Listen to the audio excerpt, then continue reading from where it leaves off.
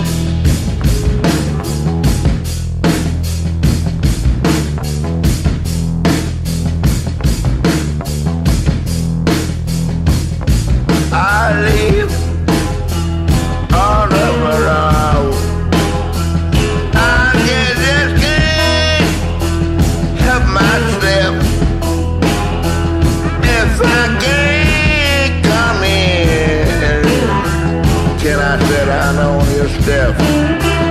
Then I said, oh.